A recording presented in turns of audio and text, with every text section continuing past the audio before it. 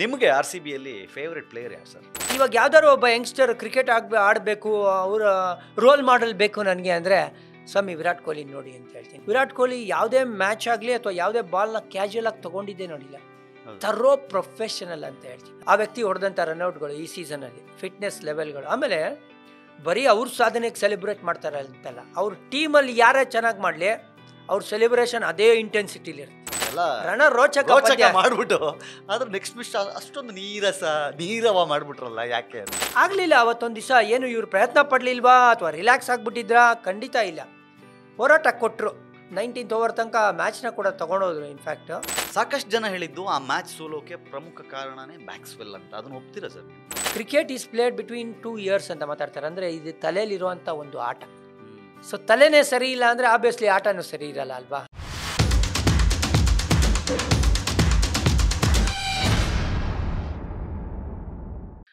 ನಿಮಗೆ R C ಬಿಯಲ್ಲಿ favourite player ಯಾರು sir present present obviously Virat ಅದರಲ್ಲಿ ಡೌಟೇ ಇಲ್ಲ. ಯಾಕಂದರೆ ಆ ವ್ಯಕ್ತಿ ಪ್ರತಿಯೊಬ್ಬರಿಗೂ ಇನ್ಸ್ಪಿರೇಷನ್ ನೀವು ಹೆಂಗೆ ವರ್ಣಿಸ್ತೀರಾ ಸರ್ ವಿರಾಟ್ ಕೊಹ್ಲಿನ?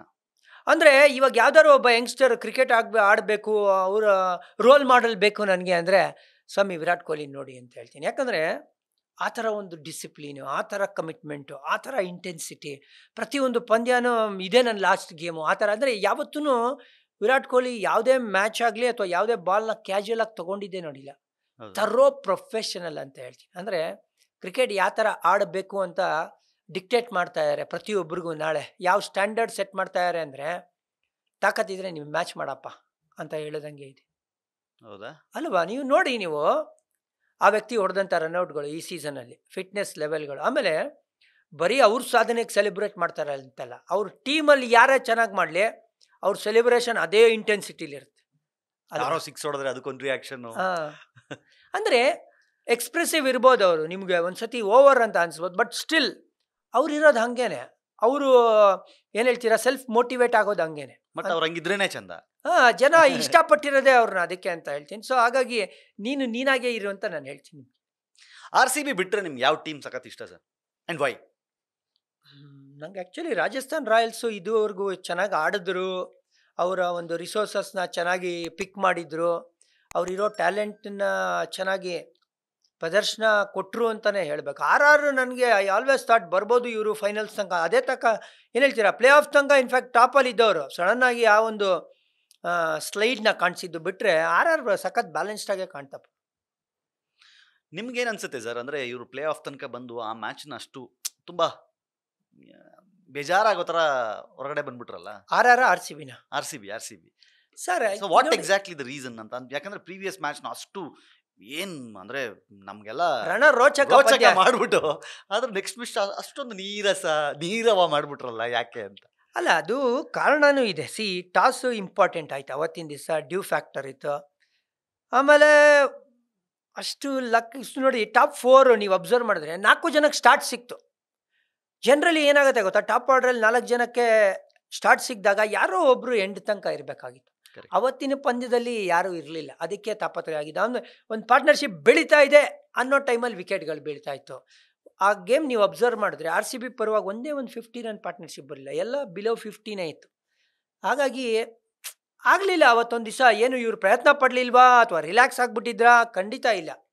ಹೋರಾಟ ಕೊಟ್ಟರು ನೈನ್ಟೀನ್ತ್ ಓವರ್ ತನಕ ಮ್ಯಾಚ್ನ ಕೂಡ ತೊಗೊಂಡೋದ್ರು in fact but again toss had a big say ಅವತ್ತಿನ ದಿವಸ ಅಂತ ನಂಗೆ ಅನಿಸ್ತಾ ಇನ್ಫ್ಯಾಕ್ಟ್ ಅವರು ಟಾಸ್ ಸೋತ್ಮೇಲೆ ಹೇಳಿದ್ರು ನಾನು ಗೆದ್ದಿದ್ರು ಫೀಲ್ಡಿಂಗ್ ತಗೋತಾ ಇದ್ದೆ ಹಂಡ್ರೆಡ್ ಪರ್ಸೆಂಟ್. ಅವತ್ತು ಅಡ್ವಾಂಟೇಜ್ ಇತ್ತು ಅಹಮದಾಬಾದಲ್ಲಿ toss ಗೆದ್ದವ್ರು sir as a common commentator ನೀವು ಆ ಮ್ಯಾಚ್ನ ಅಂದರೆ ಬರೀ ಸುಮ್ಮನೆ ನಾವಾದರೂ ಎಲ್ಲೋ ಬ್ರೇಕಲ್ಲಿ ಹೋಗೋದು ಹಿಂಗೆ ಹಿಂಗೆ ಎಲ್ಲ ಮಾಡ್ಕೊಂಡು ಆಟ ಆಡ್ಕೊಂಡು ಮ್ಯಾಚ್ ನೋಡಿರ್ತೀವಿ.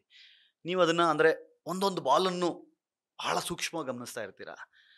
ಸಾಕಷ್ಟು ಜನ ಹೇಳಿದ್ದು ಆ ಮ್ಯಾಚ್ ಸೋಲೋಕೆ ಪ್ರಮುಖ ಕಾರಣನೇ ಮ್ಯಾಕ್ಸ್ವೆಲ್ ಅಂತ. ಅದನ್ನು ಒಪ್ತೀರಾ ಸರ್ ನೀವು? ಸರ್ ಆನೆಸ್ಟಾಗಿ ಹೇಳಬೇಕು ಅಂದರೆ ಮ್ಯಾಕ್ಸ್ವೆಲ್ ಇಡೀ ಸೀಸನ್ ಫಾರ್ಮಲ್ಲೇ ಇಲ್ಲ. ಸೊ ಆ್ಯಸ್ ಟೀಮ್ ಮ್ಯಾನೇಜ್ಮೆಂಟ್ ನಾನು ಅವ್ರ ಹತ್ರ ಎಕ್ಸ್ಪೆಕ್ಟೇಷನ್ ಇಟ್ಕೊಳ್ಳೋದು. ಯಾಕಂದರೆ ಅವರು ಆ ಥರ ಫ್ರೇಮ್ ಆಫ್ ಮೈಂಡಲ್ಲೇ ಇರಲಿಲ್ಲ. ಅವರು ಇನ್ಫ್ಯಾಕ್ಟ್ ಡಿಪ್ರೆಷನಲ್ಲಿ ಹೊಟ್ಟೋಗಿದ್ರು ಯಾಕೆ ಮ್ಯಾಕ್ಸ್ವೆಲ್ನ ಆಡಿಸ್ಬೇಕಾಯ್ತು ಅಂದರೆ ವಿಲ್ ಜಾಕ್ಸ್ ಅವೈಲೇಬಲ್ ಇರಲಿಲ್ಲ. ವಿಲ್ ಜಾಕ್ಸ್ ಇಲ್ಲದೆ ಇದ್ದಾಗ ಕರೆಕ್ಟಾಗಿ ಫಿಟ್ ಆಗುವಂಥ ಇನ್ನೊಬ್ಬ ಪ್ಲೇಯರ್ ಯಾರು ಅಂದರೆ ಅದು ಮ್ಯಾಕ್ಸ್ ಹೌದು ಫಸ್ಟ್ ಬಾಲ್ಗೆ ಔಟ್ ಆದರು. ಆ ಮ್ಯಾಕ್ಸ್ವೆಲ್ ಆಡೋದೇ ಆ ಥರನೇ ಇನ್ಫ್ಯಾಕ್ಟ್ ಇಡೀ ಕ್ಯಾಚ್ ಬಿಟ್ರು. ಅಂದರೆ ನಾನು ಹೇಳ್ದಲ್ಲ cricket is played between two ears ಅಂತ ಮಾತಾಡ್ತಾರೆ. ಅಂದರೆ ಇದು ತಲೆಯಲ್ಲಿರುವಂಥ ಒಂದು ಆಟ. ಸೊ ತಲೆನೇ ಸರಿ ಇಲ್ಲ ಅಂದರೆ ಆಬ್ವಿಯಸ್ಲಿ ಆಟನೂ ಸರಿ ಇರಲ್ಲ ಅಲ್ವಾ? ಅಂದರೆ ಅವರು ಕರೆಕ್ಟ್ ಏನು ಹೇಳ್ತೀರಾ ಮೆಂಟಲ್ ಸ್ಟೇಟಲ್ಲಿ ಇರಲಿಲ್ಲ ಇಡೀ ಸೀಸನ್ ಅದಕ್ಕೋಸ್ಕರ ಅವರೇ ನಂಗೆ ಬ್ರೇಕ್ ಕೊಡಿ ಅಂತ ಹೇಳಿದ್ರು. ಪ್ರಾಬ್ಲಿ ವಿಲ್ ಜಾಕ್ಸ್ ಇದ್ದಿದ್ರೆ ಇವ್ರು ಆಡ್ತೀನಿ. ಇರಲ್ಲ ಕೂತ್ಕೊಳ್ತಾ ಇದ್ರು.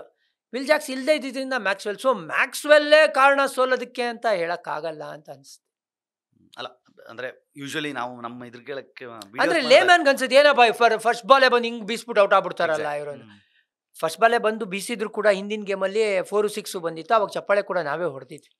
ಮ್ಯಾಕ್ಸ್ವೆಲ್ ಆಡೋ ರೀತಿನೇ ಅದು. Beet plus Karnataka